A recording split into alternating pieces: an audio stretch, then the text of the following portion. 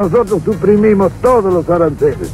Para la universidad no había ni derechos de exámenes ni nada, era gratis, totalmente gratis, el Estado pagaba eso. De manera que tanto el pobre como el rico podía ir.